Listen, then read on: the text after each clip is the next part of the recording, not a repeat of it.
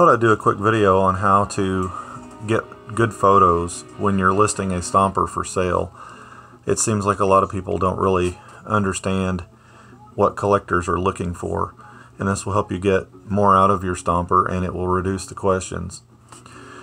One thing that most collectors want to see is the logos on the doors and the hood anywhere on this vehicle we would like to see the condition those uh, logos on the sides most collectors call them tampos. They are similar to a screen print and they rub off fairly easily. Um, a lot of times when especially these gen 2s when kids turn them on and off they're constantly flipping it back and forth like that and it causes you to touch those tampos. This once these are gone, most collectors won't buy them because they're looking for, if they want a loose stomper anyway, they're looking for a nice loose version. So typically we hold them up here. One thing I notice in a lot of listings on eBay are people holding them like that, which gives most collectors nightmares. If you can, try not to touch the tampos.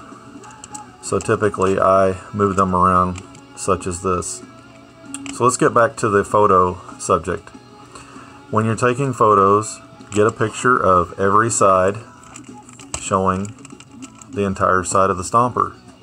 The other thing is to show the top so we can see these. If there's any reproduction parts such as this light bar, then you want to show it close up so that people can see that it's 3D printed. I paint mine white on here when they're 3D printed also you might be able to see the build lines if I move it just right, but they're pretty decent looking, better than nothing at all. Those are typically broken from kids wiping them out. Um, anyway, another thing that people would like to see that would be helpful is on the bottom, it will have information. This says Schaper Manufacturing Company. There are some stompers that will say DreamWorks, some will just say China, and things like this. This will help a buyer decide if it's the correct chassis for this body. Now obviously this is a Schaper version, it's a Generation 2. If this said DreamWorks on the chassis it would be incorrect for this body, but that chassis is really rare so it would cause bidding to go up higher. So if you show this in the listing, people will know what they're bidding on and bid possibly bid higher. So let's take the top off when you remove the top, be gentle. Ah, can't get it back on. Anyway, be gentle with this. This is your tabs. Collectors want to know if these are broken or cracked.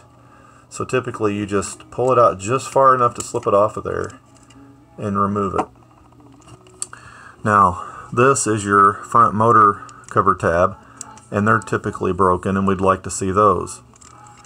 And on the back there's also one that's right there. These are in good shape. They're not broken.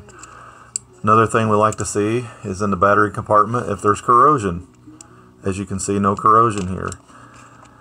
Another thing is typically rims get cracks in them. As you can see, these are not cracked. These have been painted, by the way, but they're not cracked in any way. Let me grab one here that has a crack to show you what to look for.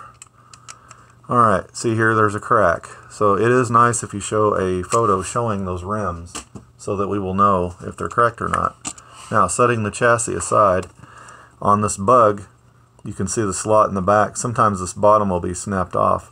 If that's the case then this body doesn't go back on and it will require a repair and then it's not worth as much. And the front tab is also good on this particular slug bug here. And again putting it back on you start with the back and just kind of push down to snap it on and then set it down. But I know that this stuff should be straightforward, but I see a lot of people posting one or two photos on eBay, and there's no call for that. Um, eBay gives you 12 photos for free. Um, I think Mercari and a lot of other sites also allow you multiple photos, so there's no excuse for having one picture of a stomper and not showing us exactly what we're buying. This will save the buyer and the seller a lot of uh, stress and, and headaches. So I hope this helps a little bit. I hope this gets out there. I'm going to upload this to YouTube. I'm also going to upload it to the Stomper Museum. Um, hope to see better photo skills out there a little bit. Um, again, it's just helping everyone. So stay tuned for more future videos and visit the Stomper Museum. Thank you.